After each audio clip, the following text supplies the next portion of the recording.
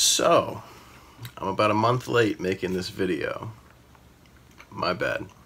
It's occurred to me that I haven't been starting these videos uh, properly for somebody on YouTube. I just kind of launch into things like everybody knows who I am and what I've been doing. So I guess I should introduce myself. I'm a computer science student at WGU with a goal to finish an entire computer science degree within one six-month term. It's uh, a little past 4 a.m. right now. Today is September 4th. As of August 31st, the six months of my first term ended. I did not finish the entire degree. However, because the only course that I had left was the capstone, I met the requirements to have this 30-day term extension granted. So, I do still have 26 days to finish my capstone project and get this degree finished in one single term. So, doing alright so far. I finished 79 credit units in the last six months, and I've got four to go. Capstone is four.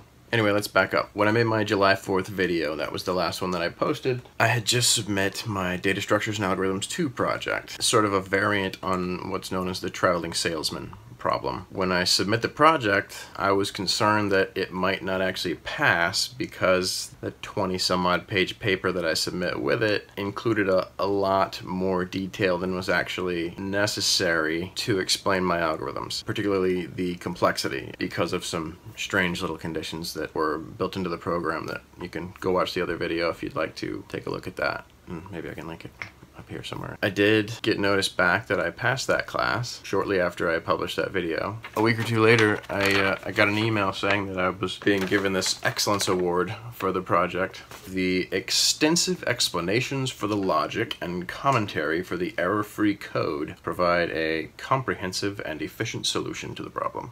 So that was kind of cool. Anyway, since then, Intro to Artificial Intelligence. Interesting class, I wouldn't call it particularly useful as it concerns artificial intelligence. We built a chatbot, and then there was a second one that was to program a robot to perform generically defined uh, set of tasks, or task, I guess. Really, there wasn't a whole lot of specification in what the project was supposed to do. It was just sort of start here, make it do a little bit more than that. I went a little bit overboard with it. My daughter got involved. She started coming and watching because you could program the robot, you could add all sorts of little sensors and parts to it, and then you could tell it what to do basically and hit play and watch it all play out in the simulated environment. And uh, my daughter ended up spending a lot of time in my office watching me do that, just watching a little robot wander around. And so I ended up making it a little bit crazy, so just for her entertainment and mine. So yeah, that was uh, an interesting class. It, it could have been a really long class, could have taken a really long time if the actual assessments had covered more of the course material as it stood.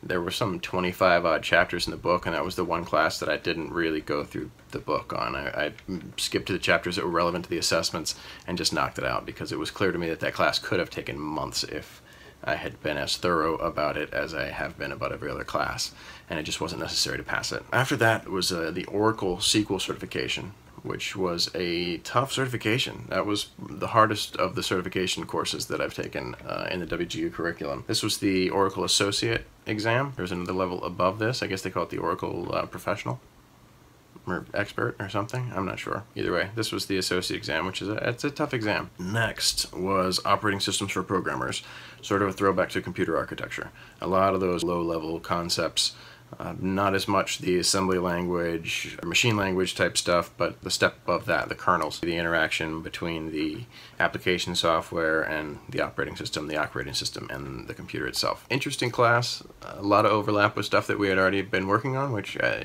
you would expect at this point. Not terribly difficult. After that one, Business of IT. This is the ITIL certification, and it's the the first certification in ITIL. ITIL, like a framework for structuring the processes of the IT department, something like that. It's an alternative sort of to uh, Six Sigma. This class was kind of ridiculous. This is really a certification to begin getting certified within this particular framework of certifications. It's like a multi-year curriculum. Come on, come get certified. Now get certified again. Now get certified again. Get certified again and again and again and again and again. You gotta have like 25 credits or something before you reach their actual certification level where you're certified in like knowing enough to actually be able to manage an IT department according to their principles. I don't know. I don't know. whatever the test was about learning a bunch of concepts as defined by the ITIL organization that could have been defined equally validly in other ways by other companies or other groups or whatever. It's just not terribly useful. I didn't get much out of that class. I'm not sure that many people do. Got through it. After that was software engineering. And then following software engineering was software quality assurance. And these two classes probably could have been rolled into one class. There was a lot of overlap in the course material. That said, the software engineering class, just as far as WGU's worked out course material and exam material goes, software engineering was the much better class. It was obviously laid out properly. The exam tested you properly. It was just a it was a better put together course, whereas the software quality assurance material didn't necessarily line up with the exam. You were being tested on things that were not being taught. and Questions that could be answered in multiple ways without any answer being any better than any other answer. The exam needs a lot of work, frankly. It needs to be reviewed and edited by actual subject matter experts. I get the feeling that the exam was created by someone who speaks English as a second language and who didn't really know what they were doing all that much. The actual course instructors don't have access to the exam. It's only the assessment uh, graders do or the assessment people within WGU and I, I don't know what the disconnect is there between the actual IT expertise in this exam, but it, it just doesn't line up. That was actually the first exam that I did not pass on my first attempt. In order to pass an exam at WGU, you have to make it a, like a minimum of 70%, and I think I made about 65% on that. Decent opportunity anyway to talk to you about what happens whenever you fail an exam at WGU. First, you hang your head in shame because you learn about it really quickly right after you finish. You just kind of go, oh man, that sucks. Now you have ooh, four attempts that you can take. Uh, your first and your second are included in your cost. No, wait. And your third, I think. I guess I should look that up and let you know. I'll be right back. Okay, confirmed. If you do not pass an objective assessment on your first attempt, you got to get in touch with your course instructor come up with some sort of a study plan to demonstrate that you're actually learning some material and are not going to just go in and try it again based on knowing a little bit about what the exam's going to be. Then they can approve you to retake it. There's no mandatory waiting period or anything. If you fail on the second attempt, there's a mandatory five day waiting period before you can take a third attempt and you actually have to pay for the third attempt. So your first two are included. If you don't pass on either of those first two, there's a $60 retake fee for a WGU exam. If it's a certification exam, uh, it's a heftier retake fee, I believe, because you actually have to pay the cost of the certification. So WGU is providing you vouchers that are included with your tuition for the first two attempts. If you don't pass on either of those, then uh, it's on you. You can take up to four attempts.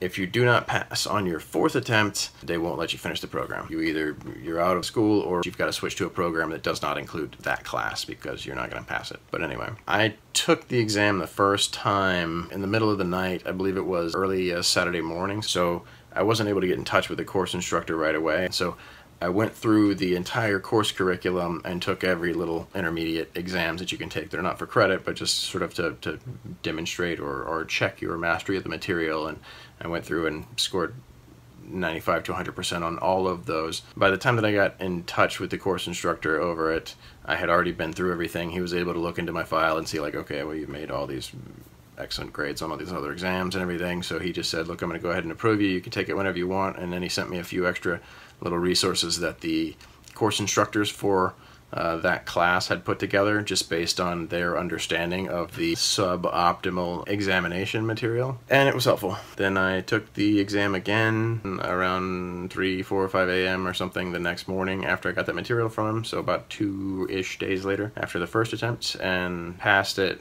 not even that strongly, somewhere around 78, 79%. It's just a bad exam. So if anybody out there is failing that one or struggling with that one, understand it's probably not your fault. It's just a bad exam. It really needs work. I hope that WGU addresses that. If they would allow the course instructors to provide some input, I think that it would be taken care of right now. So, I finished that class August 19th. I had been counting on this 30-day extension for a while, so I had gotten my uh, program mentor to enroll me in the capstone course on August 13th or 14th because you had to be in it two weeks before the end of the term, and then it had to be the only class that you had left by the 25th. So I finished software quality assurance class on the 19th, and then we submit the request for it and everything. It was all granted. And so now I've got until September 30th to finish my capstone project and successfully have completed a computer science bachelor's degree in a single term, for what that's worth. So the capstone, tell you a little bit about that. There are two submissions that you make for the capstone. One of them I already made and passed, and that's basically just approval for your topic. Everybody's topic, the whole process of coming up with it is kind of part of the capstone process, but here's the uh, just some instructions. This is not the official grading guide rubric like they normally give you. This is just a, a, guide that one of the instructors for the capstone put together. The basis of this thing is that it's in sort of the scenario that you're supposed to create for yourself. You are building software for a business that provides the business with some sort of actionable data. The way they kind of lay it out for you, they tell you to go and find a data set through Kaggle or through some government database or whatever where you're actually finding some data set that relates to something and then you come up with a scenario where you use that data set apply some kind of ideally a machine learning type of algorithm to it and generate some new actionable future centric information out of this data. I am doing my project on uh, data that we have kind of in-house here. It's our online business to generate some useful data, uh, hopefully something that will help us increase our sales. We'll see how that goes. I really haven't started on the actual application yet. But it's supposed to be a fully functional application. I'm going to build a web app out of it, which will be the first full web application that I've built since I started this program, which is strange to me. If I was in like a boot camp, web apps would be the focus. It's one of those things that you got to consider, I guess, whenever you're thinking about should I go and get a degree or should I go into a boot camp. Because it's a six month term, it's actually a whole lot less expensive for me than any of the boot camps I could have gone into. And, and you get the college degree out of it, which I think is useful. I think sort of a, a universal aspect of college. Obviously, in a computer science program, you learn a lot of theory. So you end up with a, a really good understanding of computer science but without a whole lot of hands-on practical experience without doing things on your own. Now, yeah, we had projects. There were multiple projects, multiple applications that I built, but they were all native applications. Two big Java projects. There was a C++ project and uh, a couple of Python projects, but all of them run on your own machine, and there actually hasn't been a single instance in the program where you were supposed to create an installer so that you could distribute the software easily. There are some elements that are lacking in this program. I'd like to there to have been a couple of classes where the assessment involved actually launching web applications, things that are directly and immediately useful and applicable to industry work today for somebody who is uh, supposed to be knowledgeable about coding. But I guess the opportunity to do that is the capstone program. And so that's what I'm going to do. The unfortunate part is that there's no real guidance as far as learning it. You know, they don't give you a curriculum for that. Uh, you do have access to a pretty massive library through their EBSCOhost thing. And so I've got ebooks that I've found that I'm kind of working my way through. In addition to that, you've got access to Lynda or, or, LinkedIn Learning, I guess it is now, or Pluralsight. There are several different learning platforms where you can get some information that WGU directly provides you access to. So there's all sorts of resources you have, but it would have been nice to have a class that was actually focused on how you create a functional web application. But that's where I am. Oh yeah, check this out. This shirt was cool. Just a little light fleece sweater that I got basically for free. You pay for shipping. It was a thing where if you refer a friend to talk with the WGU enrollment counselor, they would give you 30 bucks credit to their online store. So I did, and I got this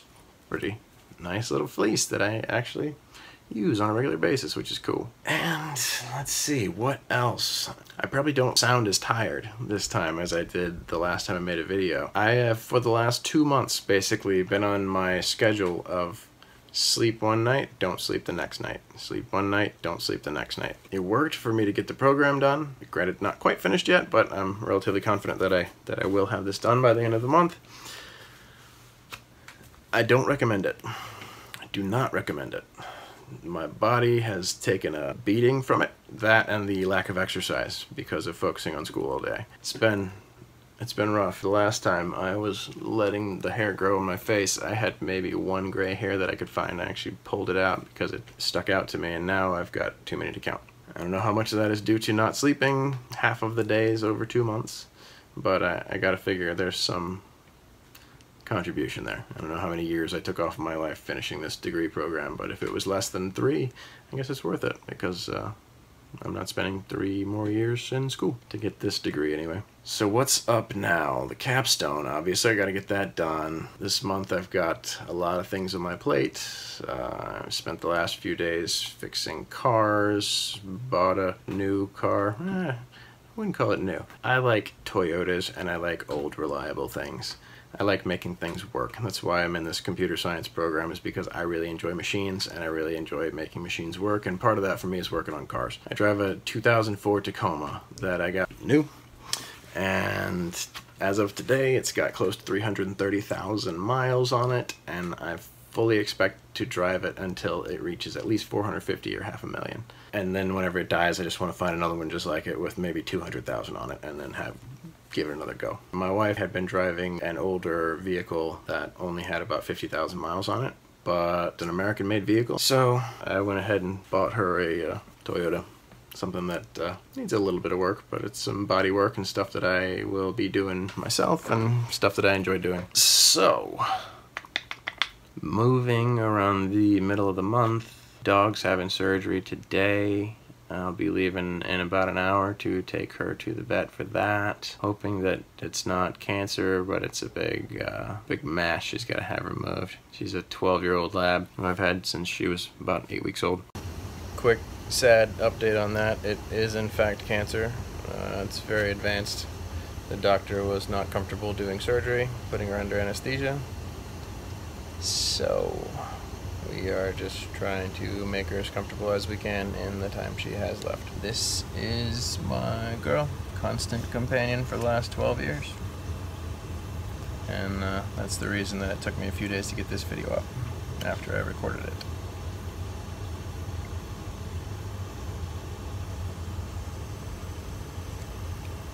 Guess that's all for now. I will update you guys when I am done with this program. I'll be in a different place, but won't make any difference to you. You'll see me right here.